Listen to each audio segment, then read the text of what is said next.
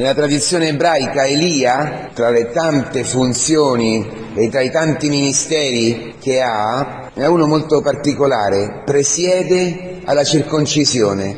E lì su, ogni volta che viene circonciso un bambino, Elia è lì. Ma questo della circoncisione è molto importante, perché lì c'è una violenza che incide la carne, da dove passa il seme della vita, per ricordare a Israele un'alleanza, che è un popolo consacrato a Dio, che è già una porzione del regno di Dio sulla terra. E questo non, non si compie senza una violenza nella carne, senza una circoncisione nella carne. Noi sappiamo che siamo chiamati alla circoncisione non della carne ma del cuore, che significa una cosa sola, rinascere dall'alto. Per questo Giovanni Battista è nato da donna ed è il più grande, il più grande profeta, quello che si è avvicinato più a Cristo, che lo ha visto, che lo ha guardato, che lo ha indicato.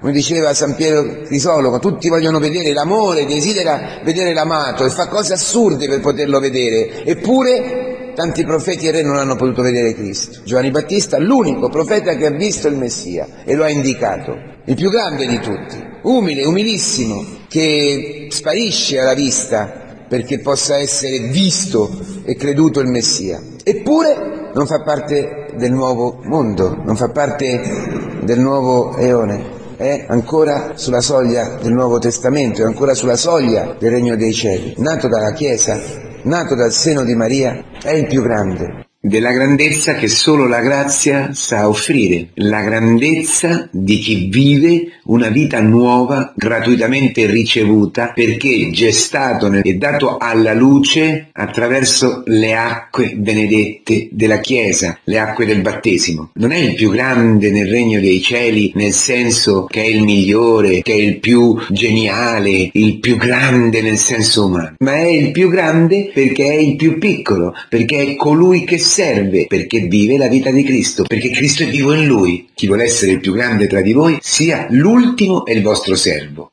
È dunque il più grande nel regno dei cieli colui nel quale si compie questa parola che è il rovesciamento totale dell'inganno del demonio, cioè della superbia che ci spinge ad essere più grandi degli altri per poterli dominare, per poterli possedere, per poter gestire le persone e i fatti della vita come fossimo Dio. Chi è nato nella Chiesa è più grande di Giovanni Battista. Comunque il più grande tra i figli di donna per la sua umiltà, frutto della vita di penitenza che ha vissuto proprio per indicare e annunciare il Messia. Chi è rinato da acqua e da spirito è più grande nel regno dei cieli che è dei violenti, nel quale entrano i violenti. Qual è la violenza? La violenza che è il passaggio dal seno della madre alla vita, il battesimo, che non è senza violenza per la madre, che soffre tantissimo quando partorisce, come soffre la Chiesa, e lo dice San Paolo, che soffre le doglie del parto per partorire e dare la luce nella fede cioè, i neofiti,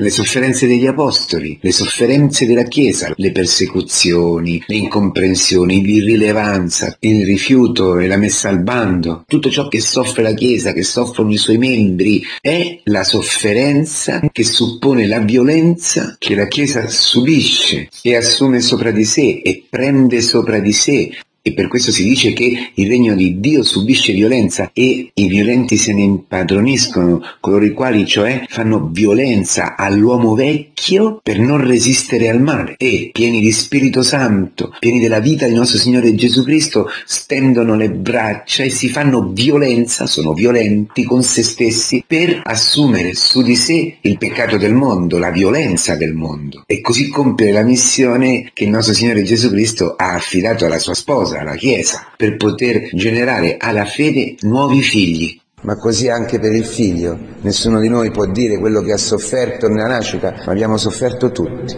È il combattimento che si rinnova ogni giorno per passare alla luce, per passare alla verità, per vivere una vita nuova, che sempre comporta lasciare qualcosa di vecchio, comporta lasciare l'utero della madre, comporta lasciare le sicurezze, comporta lasciare l'essere costantemente ripiegati su se stessi, viziati e, borghesi nel cantuccio, nel divano, e vivere una vita nuova, una vita nell'ignoto insieme a Cristo, per vedere Cristo. Dove? Nella giornata di oggi, in ogni giorno. Questa è la violenza umile della fede che comporta la rinascita in quel rapporto, in quella relazione, nel lavoro, in ogni momento. Questa circoncisione del cuore che è la nascita alla vita nuova. Allora che il Signore ci conceda oggi il desiderio ardente di vedere il nostro Signore Gesù Cristo nella nostra vita, che significa essere in comunione con Lui, che significa passare oggi al regno dei cieli, qui sulla terra, e non avere paura, non avere timore di lasciarci circoncidere, di soffrire veramente la violenza che suppone il regno dei cieli, che suppone il taglio di tante nostre sicurezze, di tanti nostri criteri